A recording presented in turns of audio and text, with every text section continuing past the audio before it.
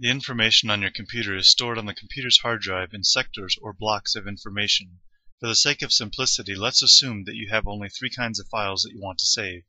Music files that require three blocks, video files that require seven blocks, and text documents that require one block of hard drive space.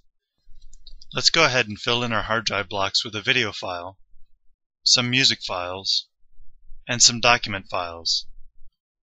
Now let's delete some of these files and try to add more and see what happens. You will notice when we need to add a video file, there is no room to fit the entire seven blocks together. The blocks cannot be quickly pushed around to make space for the file without reading and writing each one to a new block.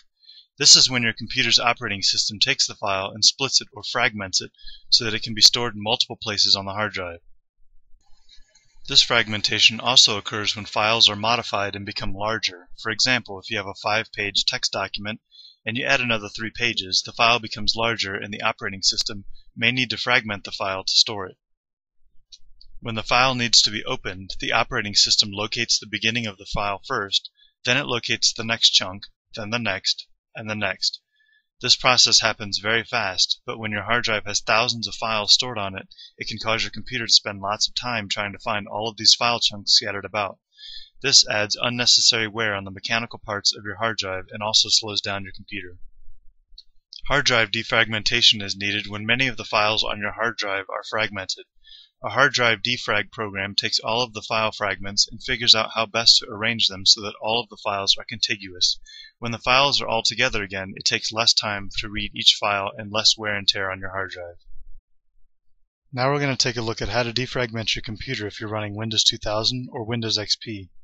First, double click on My Computer, find your primary hard drive, usually labeled C, right click and go to Properties, and then go to the Tools tab. Find the defragmentation section and click defragment now. Here you'll see the disk defragmenter. You'll notice at the bottom is a legend, red for fragmented files, blue for contiguous files, green for system files, and white for free space. Go ahead and click on defragment and wait a while. Sometimes it may take a few hours. Now we're going to find out how to defragment your computer if you're running Windows Vista or Windows 7. First go to your computer icon. If you don't have a computer icon on your desktop, click on the menu button and then go to computer here. Find your primary hard drive, usually labeled C colon. Right click and go to properties and then go to the tools tab. Find the defragmentation section and click on defragment now. And then answer the question if UAC is turned on. And you'll notice on Windows Vista and Windows 7, there's a schedule set up for defragmenting your computer. Windows will automatically defragment your computer on a set schedule. If you want to manually defragment, click on defragment now. Sometimes this process will take minutes, sometimes it will take several hours. You can leave this window open, and once it's completed, it will tell you that it's completed.